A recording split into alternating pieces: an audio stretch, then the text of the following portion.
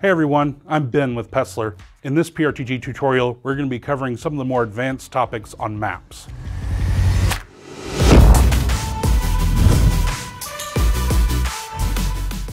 Okay, so the first thing we'll do after we log into our web interface is we'll go to our maps. Now, if you already have a map you want to do this to, you just go to that map. If you don't, let's create a new one like I'm going to do here. I'll call this advanced map.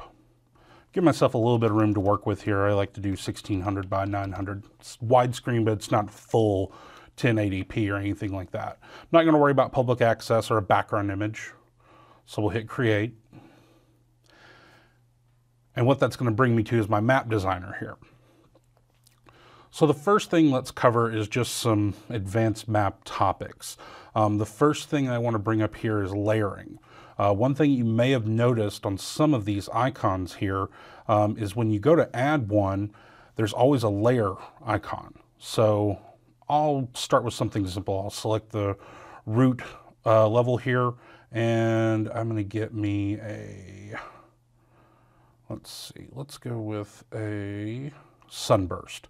So I'm just going to go with the regular sunburst. I'm going to drag this out here.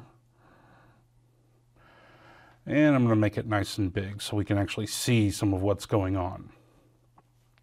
So this section up here is what I'm talking about. So top and left is positioning, and that's just you know how far down from the top it is and how far from the left edge it is. You can use those numbers to get really, really precise movements with these. You'll notice that when I move it around, it tends to want to snap to the grid. Uh, this is how you can do some very fine tuning if you've got something uh, an image perhaps that you want to center it on or any images around it that you want to do any kind of fine tuning to. Same with width and height, but then layer.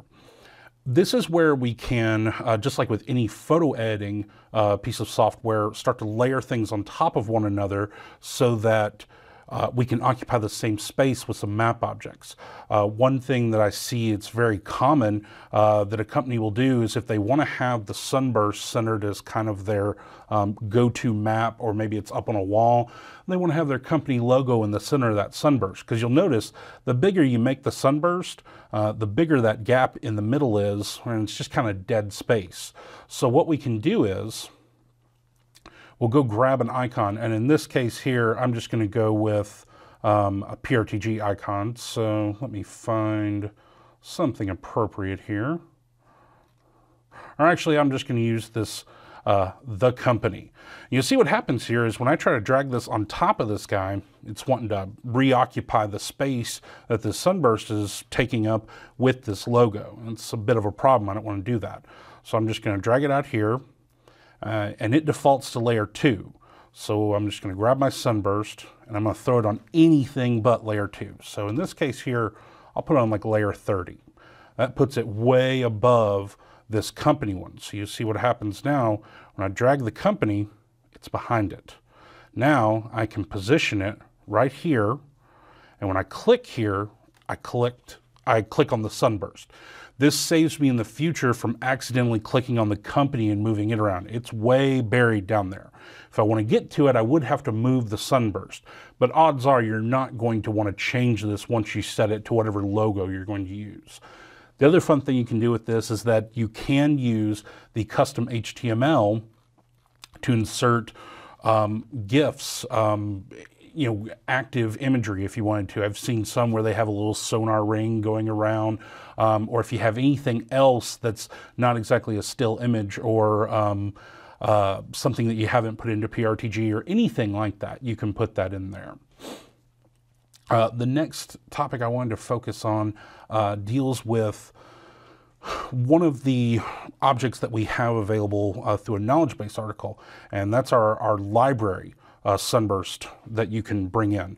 Um, basically, what you can do with this is it creates a sunburst of an existing library you have.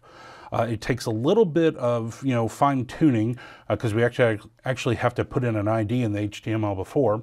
Uh, so what I'll do is I'll I'll delete the one that we are working with here, and I'll keep my little company logo here. So again, I'm going to link at the root, and I'm just going to grab this library sunburst in HTML before. And the knowledge base linking to how to get this and import it into your PRTG will be in the comments for the video. So you can use that KB to actually download the code needed for this and get it set up in your instance. You'll see when we drag it in at first, there's absolutely nothing. And the reason there's absolutely nothing is because it's looking for that library uh, ID in the HTML before field. So what we'll do is we'll head over to our libraries and I'm going to go with uh, CPU load sensors. So when I click on this library, you'll see that the ID number for the library is right up here. We try to keep everything pertaining to the object in play in the upper right hand corner. That's where you'll find all the different particulars about it, including the ID. So this one is 718. So what we'll do is we'll go back to our map.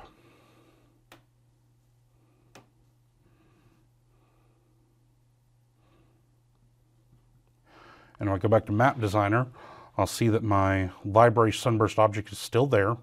So in HTML before, I'm going to put in,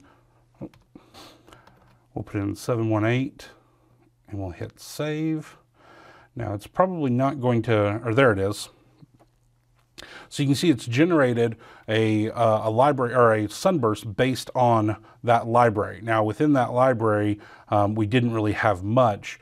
Uh, but it just goes to show on how this works here. So if I go out to view map, you'll see there's my sunburst for it. Um, it's a very powerful element to use, especially if you use a lot of libraries, if you depend on libraries. Um, and again, uh, the knowledge base article will cover a little bit more in depth on how to add the code into your existing PRTG instance and how to get this working. Uh, one of the last things I want to talk about uh, in this video is the custom HTML element itself. Um, a lot of a lot of users that work with the maps don't understand the full capabilities of this object right here, this custom HTML element.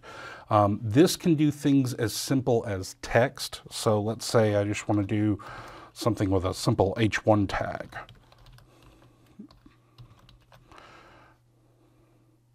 And just like that, I have text that I can move anywhere I want. Um, there are a lot of things in the map editor that are a little bit lacking in terms of being able to label things like that. So the custom HTML is kind of the catch-all map object you would want to use to replace that. It'll take any kind of HTML you want. So it doesn't have to be just text. This could be uh, images. This can be widgets that you get from certain websites. The compatibility is not guaranteed on everything, so you'll want to test it and make sure it works correctly. Uh, but most of the more basic ones are going to work just fine. Um, one of the ways to get around that, if you do have something that you want to incorporate, um, is integrating uh, the use of the iframe with PRTG. So one of the things I really like about the maps uh, and the way PRTG hosts them is that right here on the Get HTML tab, we include the code for the iframe on how to embed that. Now, one of the only caveats to that is, is that with HTTPS doing iframes, it can be a little cumbersome. Most of the time it won't work. So um, it's best if you do that with just normal HTTP. Um, but again, these are things that uh, you can often work around or set up a, uh, a dedicated um, host for just maps or uh, even just a little freeware installation to go and pull data from other PRTG installations. Um, but in terms of some of the more creative things I've seen with the custom HTML, um, definitely the use of bringing in images from outside. Um, there's a lot of uh, high-res content for a lot of devices out there that companies will provide, like you know Cisco, F5, um, Palo Alto, NetApp, just to name a few. Um, and I've seen a lot of users incorporate that high-res imagery in their uh, maps to actually show a picture of what's being monitored, so that um, it's not just this black box that exists somewhere. So that if somebody sees this map, they see what kind of device that is. When they go in the data center, they can recognize that device. Oh, look, that's an ASA, or hey, that's a Nexus switch. I saw that in the PRTG map. I know that's what we're monitoring with PRTG. I know that's the device that we're getting that data from. Um, so with everything we've talked about here, just kind of recovering everything, um, we talked about layering.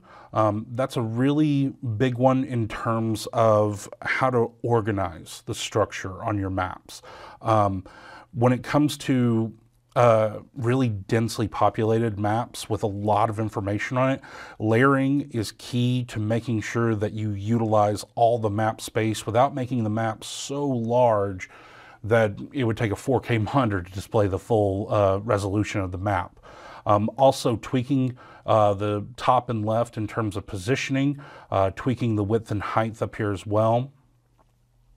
Um, we also talked about um, using a, a, custom map object like the, uh, the library sunburst. Um, there's also a lot of other custom map objects you can do out there as well uh, in terms of things that you can bring in, modifying existing map objects and things of that nature. Um, and then the last part, uh, the custom HTML. Um, I know I just kind of scratched the surface on that, but the great thing about that is that uh, any HTML that you find, simply copy and paste into HTML before and just work with it. Um, that object is extremely powerful in what you can bring in, what you can include in your, your uh, PRTG maps, uh, as well as bringing in external content that's outside the realm of your PRTG installation. I hope all this information has been useful to you. Uh, of course, if you have any questions about anything we can help with, don't hesitate to reach out to us at support at paessler.com. And thanks for watching. If you find this video helpful, feel free to like it and consider watching our other videos on our channel. If you still have questions, please contact support at paessler.com. And always feel free to comment for feedback or suggestions for other topics. Thank you.